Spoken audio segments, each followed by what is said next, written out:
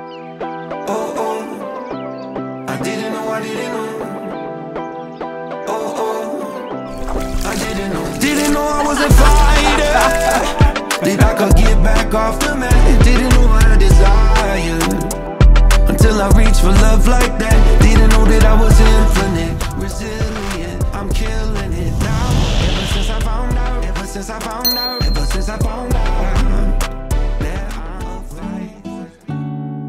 Increase your standards in love. Some guys are afraid to go after the most beautiful women because they feel that they aren't worth their time or they lack money. But I say pursue her.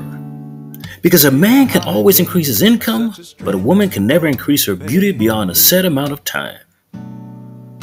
Now, word of caution though make sure her inner beauty reflects her outer beauty, or you'll regret that relationship for the rest of your life. Relationships between men and women can be summed up in one sentence. Women set their standards too high for men, while men set their standards too low for women. For this reason, I encourage men to set their standards for women high enough so that even if they don't get the gal of their dreams, they won't have to settle for the women of their nightmares. Most guys usually find out the hard way that if they aren't choosy when it comes to a mate in the short term, they will regret it in the long run.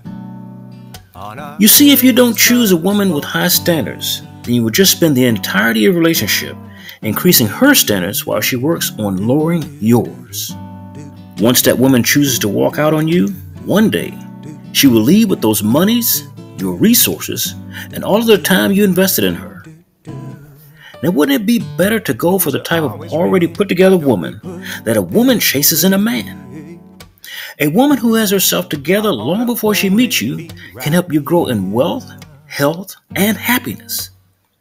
This woman can bring forth children that will not be an embarrassment to you and the world around you. And should she ever desire to leave the relationship one day through divorce, at least she would have helped you attain that wealth instead of sitting by passively watching you struggle to achieve it.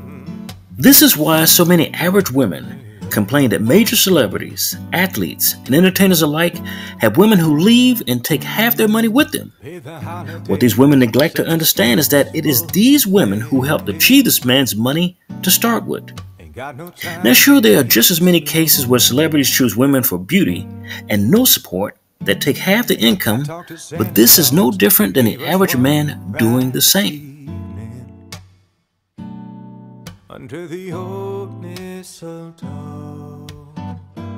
The. Average woman of lesser means, all the way up to the woman with proper breeding who lives in the Hamptons, can give you a rather extensive list of the things she wants in a man.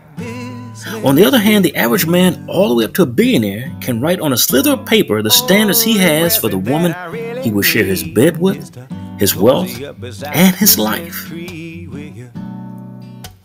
The average man's standards are must be tall, blonde hair, blue eyes, must have a nice rack and a slim waist, loves to have sex all the time, all day long. If a man chooses a woman based solely upon these standards, she will most certainly depart the relationship as soon as the money runs out. The separation or divorce for these women usually gets triggered once the man wakes up to a higher sense of deservedness that has nothing to do with those shallow things I just named for you. When a guy lives with a woman and wants her not to be nasty around the house, nasty with his friends, or with his parents, she has a problem with that. She has a problem with him because up front, he didn't state his intentions in a relationship beyond her beauty being the table. These type of women are not going to stay around and pick up their own mess, cook for the man or themselves, or be responsible for anything they say or do.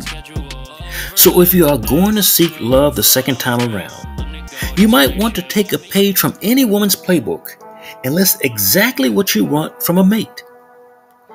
Beauty is the most important, but so is living with someone who enriches your life and soul.